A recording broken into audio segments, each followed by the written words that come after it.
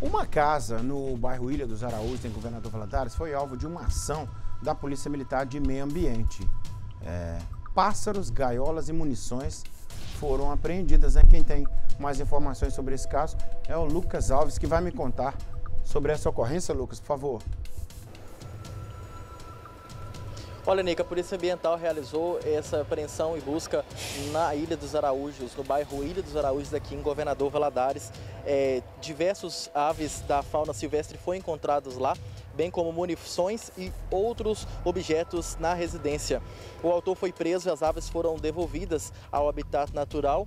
É, os materiais foram apreendidos e entregues lá no Departamento de Polícia para serem tomadas as devidas providências. Além disso, foi mencionado que as aves papa-capim estavam com anilhas de identificação com sinais de adulteração. As anilhas, Nico, como eu já disse uma outra ocasião, eh, são anéis que ficam nas patas das aves que identificam né, a liberação, o criador, os números que são importantes para esta ocasião.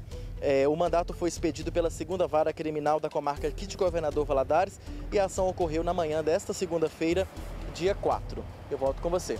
É, tem gente que tem autorização para ser criador, né? Tem anilhas, os pássaros são é, todos registrados, catalogados. É, há pessoas que têm também autorização para ter a posse de arma de fogo, de munição. Agora, se a polícia chegou lá após denúncia e viu que tem algo irregular, aí tem que soltar os pássaros. O que, que, é isso? É isso aí, ô, ô Bebiano? Isso é um casco, parecendo casco daquele, daquele bichinho que, que fura o chão? Hã? Esqueci o nome dele. Tatu, rapaz. Esqueci o nome do tatu aqui. Aí.